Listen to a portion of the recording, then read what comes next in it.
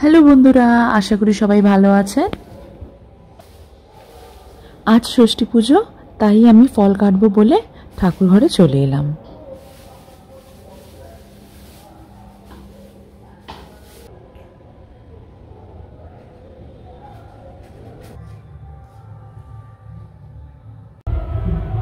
আজকে আমাদের ষষ্ঠী ঠাকুরের পুজো, তাই আমি ফল কাটছি। এই ঠাকুরের পুজোটা আমাদের পুকুরঘাটে হয়, এটা বাচ্চাদের জন্য হয়। দিদা দাদু বা মা বাবারা করে। আর নিচে মা, কাকিমারা খই ভাজছে, গুড়ে নাড়ু তৈরি করছে। এই যে আমাদের দিদা ঢুকছে। আখ কাটতে অবস্থা খারাপ।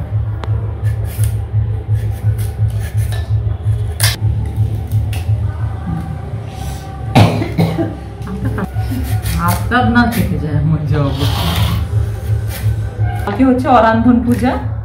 কালকে পান্তা হবে অনেক রকমের। ভাজাভুজি হবে মাছ হবে। হ্যাঁ দিদাটাও তো? আমাদের অরান্ধনটা হয় না কেন? হয় না আমার যেদিন রাঁধে তো আজ যে হাঁড়ি পূজা হব হ্যাঁ। আমার সে গুছে ছিল মরে ও মরে গেছিল বলে তাই জন্য হবে না? সেটাই আমার বন্ধু। আমাদের অরান্ধন পুজো হয় না। কারণ আমাদের পূর্বাপুরুষ একজন নাকি মারা গেছিল এই দিনে হ্যাঁ। তাই জন্য আমাদের অরন্ধন পুজোটা হয় না কিন্তু এদিকে প্রত্যেকের বাড়িতে সেই। প্রত্যেকের বাড়িতে হয় উড়িষ্যা ঘরে হয়। প্রত্যেক না হ্যাঁ, প্রত্যেকটা দেহ হয়। ଥିଲା ମୋର ବୈଶ କାଳ କେତେ ଖାଉଥାଏ ଦୁଃଖତା ପାନ ଥିଲା ମୋର ଯୌବନ କାଳ କେତେ ମାକୁଥାଏ ଲାକ୍ସା ବାନ ମୁହଁଟାକୁ କନି ବକା ଟୁକା ମାନେ ପକେଇଲା ମୋର ସିକି ଟକା নে, আমি এখানে ছুটে চলে যাবো আমার যেতে ওরা যাও ভাতটা নিয়ে চলে যাবে চলো কাকিমা যখন আছে কাকিমার সঙ্গে নিয়ে চলে যাব হ্যাঁ, সে তাকে বলেছি বৌদি পুজোর শ্বাস সব হয়ে গেছে এবার আমরা এগুলো নিয়ে যাব পুকুর ঘাটে পুজোর জন্য এখন আমরা ঠাকুরের প্রসাদগুলো নিয়ে পুকুর ঘাটে যাচ্ছি জানেন তো এই পুকুরটা প্রায় দুশো বছর পুরনো শুনেছি এই পুকুরে আমাদের দাদুর বাবারা স্নান করত শুনলেও অবাক লাগে এখন আর কেউ যায় না এই পুকুরটায়। পুরো জঙ্গল হয়ে গেছে রাস্তাটা। শুধু এই দিনটাই পাড়ার সবাই মিলে এখানে পুজো দিতে আসি।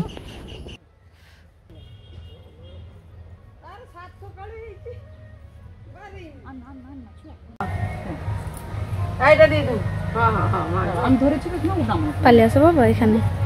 আজকে কাদা নেই না? খুব সুন্দর আছে। লাগবে না। এইটা রাখো এইটা রাখো। ওইখানে দেখো ওই লোকে সাজিয়ে দাও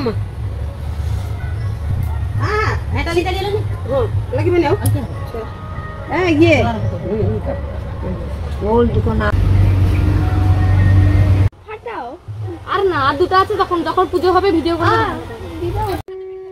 হ্যাঁ তার বে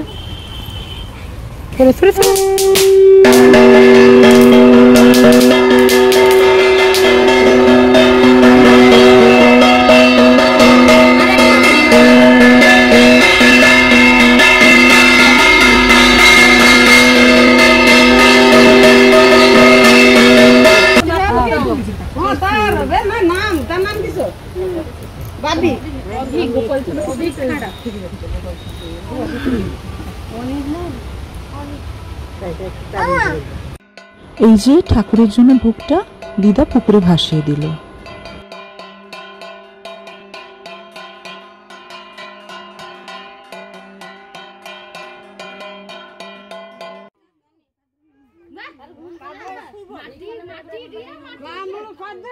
এই যে পুজো শেষ করে চলে এলাম এবারে। এবারে আমরা খাওয়া দাওয়া করব, দুপুরে লাঞ্চ করব। আজকে ছেলেদের জন্য ননভেজ করেছি, আলু পটল দিয়ে ঝোল করেছি, আর ইলিশ মাছ দিয়ে টক করেছি। আর ভেজে আমরা যা মাম্মিরা ভেজ খাব, সয়াবিন তরকারি করেছি, ডাল করেছি, আর কিছু ভাজাভুজি করেছি। সেটা আপনাদের সঙ্গে দেখাবো আমি ঠিক আছে, চলুন দেখাই কী কী রান্না করেছি। আজকে করেছি শাকের ঘন্ট চিংড়ি মাছ, বড় বড় টাইগার চিংড়ি মাছ দিয়ে, আলু পটল দিয়ে ঝোল, আর ইলিশ আর পমফ্রেট দিয়ে তেঁতুল দিয়ে টক। আজকে বেশি কিছু করিনি, আজকে ষষ্ঠী পুজো। তাই জন্য আমাদের জন্য নিরামিষ আর বাবাদের জন্য আমিষ। আজকের মতন ব্লগটা এখানেই শেষ করলাম। সবাই ভালো থাকবেন আর পরিবারের সবাইকে ভালো রাখবেন।